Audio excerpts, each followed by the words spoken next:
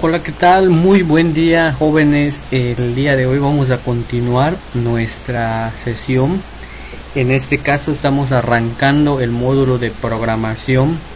Eh, viene siendo el submódulo 2 de este quinto semestre.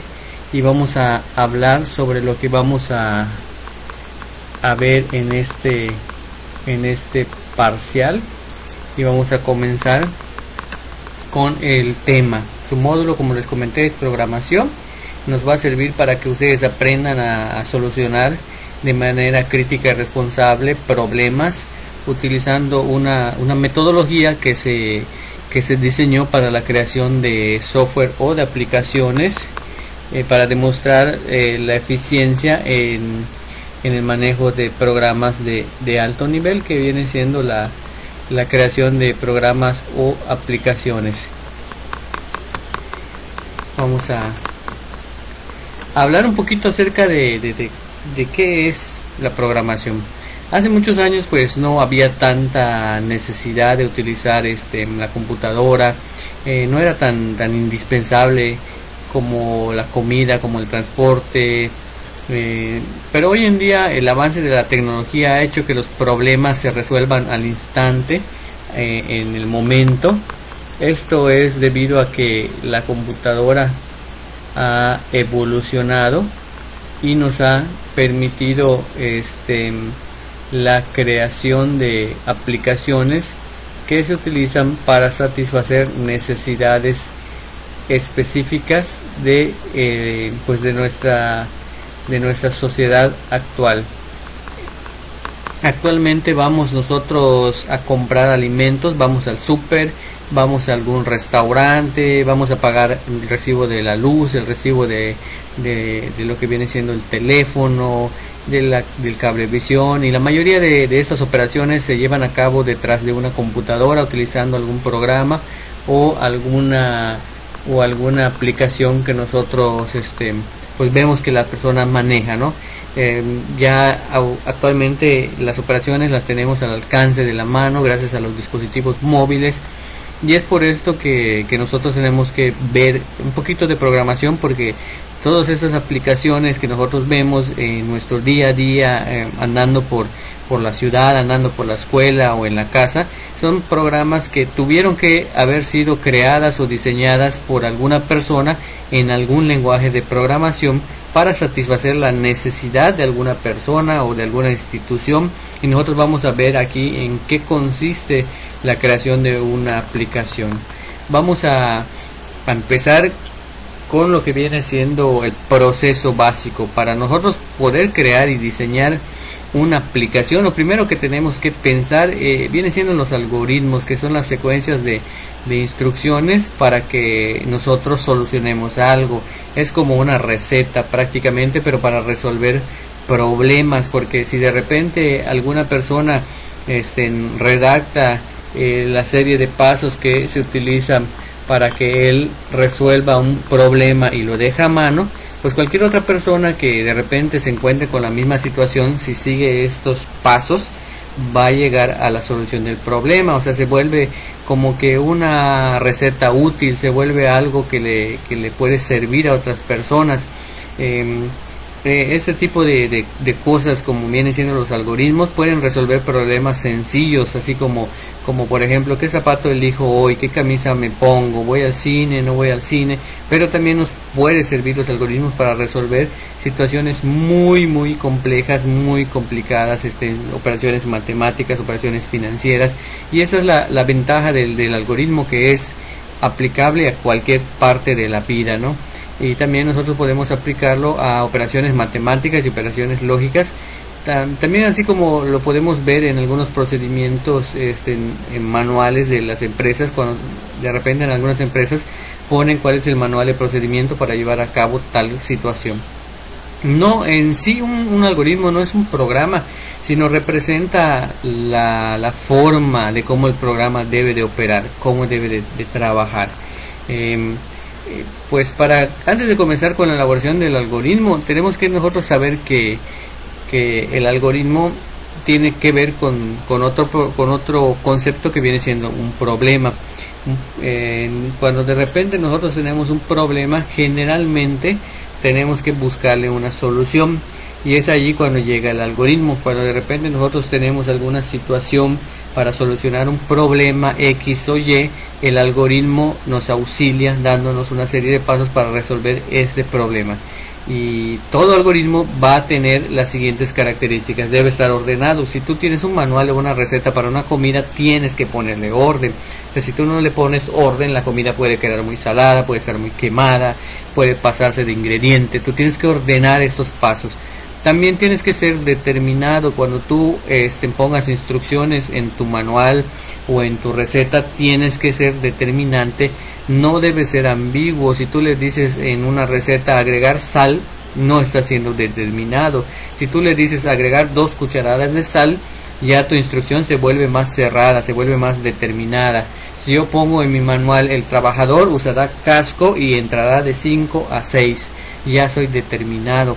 Si yo pongo nada más el trabajador durante su jornada laboral utilizará casco, no estoy definiendo cuánto tiempo está laborando, no soy determinado y todo algoritmo debe llevar un inicio y un final. O sea, siempre que ustedes hagan un algoritmo, siempre pongan inicio y fin. ¿Por qué razón? Porque le estás indicando cuándo va a empezar y cuándo termina. Si nosotros no le ponemos esto, eh, se vuelve un ciclo y nunca termina.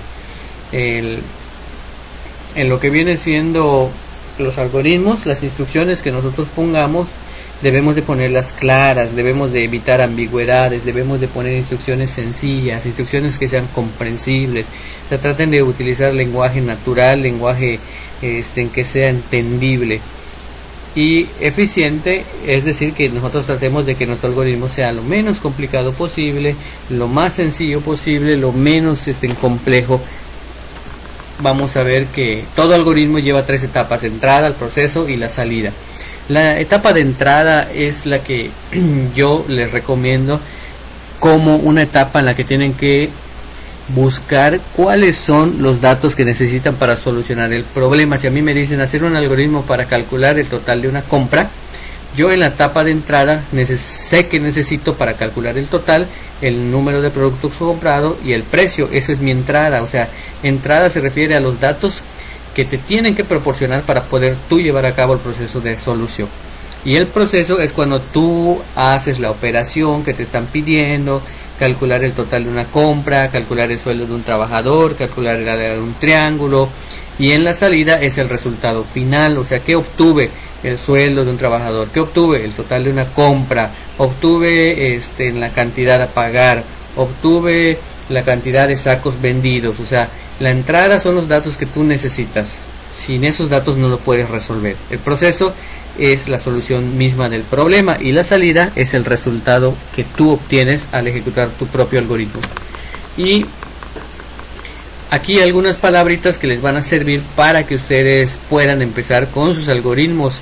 Em, pueden ustedes utilizar este, palabras como para pedir para, para pedir este, datos en la etapa de entrada, o sea, en los primeros pasos del algoritmo pueden utilizar ustedes em, verbos como conocer, saber, obtener, leer, por ejemplo, conocer la base, conocer la altura, o saber el sueldo del trabajador, saber el número de horas trabajadas. Y en la etapa de procesamiento, ahí vas a utilizar palabras como hacer eh, precio por cantidad comprada, hacer base por altura sobre 2 o realizar base por altura o ejecutar eh, número de horas por precio por hora. Y en la etapa de impresión o en la etapa de salida vas a utilizar verbos como imprimir, mostrar o presentar. Aunque esos, esta tablita en realidad es útil cuando estamos utilizando pseudocódigo, es decir, cuando utilizamos nuestro lenguaje natural para construir algoritmos. Pero cuando hacemos algoritmos basados específicamente en un lenguaje para en, cierta aplicación tenemos que usar específicamente las palabras clave que el programa nos proporciona porque si no no lo va a reconocer y no va a ejecutar nuestro algoritmo. Em, continuando con nuestro tema vamos a tener además una pequeña tabla que es la que nos va a servir para que yo determine qué debo de hacer primero en una operación. O sea, esta tabla se le llama tabla de prioridad de operadores y me determina qué es lo que yo debo de hacer. O sea, lo más importante es la agrupación. Si yo tengo una operación larga y dentro del paréntesis hay otras operaciones, primero se hace lo que haya dentro del paréntesis. Y luego si en mi operación hay un exponente, hago el exponente. Eh, la multiplicación y la división aquí en la tablita están en el mismo nivel y nosotros nos podemos preguntar cómo se hace, qué es lo que se hace entonces si están en el mismo nivel. Cuando te encuentres con una, una, una serie de operaciones que, que, tenga una multiplicación y una división, al ser los dos del mismo, la misma importancia, agarras de izquierda a derecha. Resuelves primero la operación de la izquierda y luego el de la derecha. Lo mismo haces con la suma y la resta. Si de repente te topas con una expresión que tenga una suma y una resta, ambos tienen el mismo valor ninguno de ellos es más importante que el otro. Entonces tú tendrías que agarrar y, resolver el lado izquierdo y luego la operación que esté en el lado derecho. Eso viene siendo el, lo que viene siendo la tabla de prioridad de operadores. Eh, ya para ir cerrando esta pequeña sesión, este pequeño video, vamos a hablar sobre el pseudocódigo, que significa falso código. Eh, el pseudocódigo es cuando tú construyes un algoritmo, cuando utilizando un lenguaje que se parece al lenguaje de programación pero sin tanto tecnicismo, o sea, es simplemente utilizar palabras como leer la base, leer la altura, multiplica base por altura y divídelo entre dos, mostrar área, es, es cuando utilizamos un, un, lenguaje un poquito natural, un poquito así como que no tanto de lenguaje de, de máquina, eh, cuando nosotros hacemos nuestro algoritmo ya estamos más o menos preparándonos para que ese algoritmo lo podamos codificar en un lenguaje de programación. Eso viene siendo el pseudocódigo, es lo que nosotros hacemos en libreta, lo que hacemos a mano, todavía sin pasar a la computadora. Em, cuando nosotros estemos construyendo algoritmos vamos a tener algunos operadores que nos van a servir para hacer comparaciones, también se les conoce como decisiones. Estos operadores aprendan ustedes a distinguirlos. Eh, son el símbolo de mayor que, menor que, mayor o igual, menor o igual, el símbolo de igual, o sea, tal valor es igual a tal valor, eh, tal valor es diferente de tal valor, entonces son algunas de las de las expresiones lógicas que nos van a servir para hacer operaciones de comparación. Aquí vemos un ejemplo del uso de, estos operadores de comparación. Por ejemplo, si yo estoy buscando este, el número positivo, ¿cómo lo hago? Pues con una comparación. Si el número que yo tengo es mayor a cero, entonces es positivo. Eh, el segundo ejemplo nos dice, cuando yo estoy calculando una calificación de algún alumno y quiero saber si aprobó o reprobó, yo puedo poner esta comparación. Si el promedio es mayor o es igual a 70, entonces aprobó. Y el otro ejemplo este, es calcular si me alcanza comprar algo menor a mil pesos. Entonces yo pongo mi comparación. Si, la, si el precio de la prenda es menor o igual a mi dinero, entonces me alcanza. Si nos queda claro. Y aquí en el lado derecho tenemos un ejemplo donde dice captura el precio del teléfono captura la cantidad de tu ahorro actual y ya luego haces una comparación. Si tu ahorro es mayor o igual al precio del smartphone, entonces escribimos felicidades, cómpralo. Si no, lo siento, debes seguir ahorrando. Y es así como, se utilizan lo que viene siendo las expresiones de comparación. Aquí tenemos un, un pseudocódigo. Eh, en la figura 2.7 vemos la estructura de, una, de un pseudocódigo, pero utilizando una condición. Si tu ahorro es mayor o es igual al, precio del producto, entonces puedes comprarlo. Si no, hay que seguir ahorrando.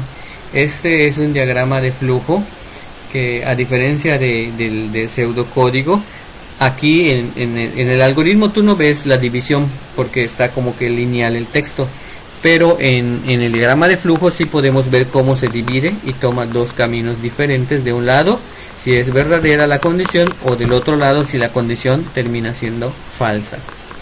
Em, hasta aquí vamos a dejarlo con, con el primer tema y vamos a empezar haciendo unos ejercicios de algoritmos que yo les voy a subir el día de mañana para que ustedes realicen y entreguen esta semana. Nos vemos en el próximo video que sería mañana mismo.